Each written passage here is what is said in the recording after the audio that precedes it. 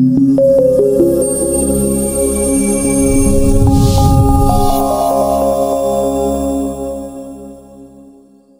Kaszuby to miejsce, które świetnie nadaje się do biegania, a w Dzydze szczególnie przypadły do gustu biegaczom.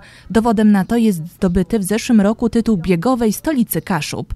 Takie miano nadali w Dzydzom uczestnicy imprezy Kaszuby Biegają, której częścią jest Festiwal Biegów Polski Północnej. Hasłem przewodnim imprezy jest zwolnij i odpocznij, ale dla sportowców nie oznacza to leżenia do góry brzuchem. Trasy są bardzo trudne, tym bardziej, że y, temperatura jest taka jaka jest, no jest dużo y, pyłu spowodowane y, drogami, które są y, leśnymi drogami, ale drogi są super przygotowane przez Naleśnictwo y, Kościerzyna.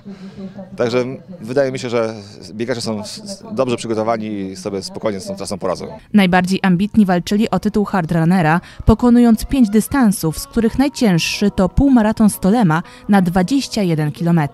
Tego wyzwania podjął się m.in. pan Piotr z Gdańska. Nie mogę żyć od biegania, bez biegania, więc jest to zdecydowanie no, moja życiowa pasja, można powiedzieć. Tutaj widzę takich e, dwóch małych potencjalnych przyszłych biegaczy. Czy to jest e, rodzinny taki wypad dzisiaj? Dzisiaj jest rodzinny, y, syn Antoś, córka Zosia, jutro córka startuje na w biegu malucha.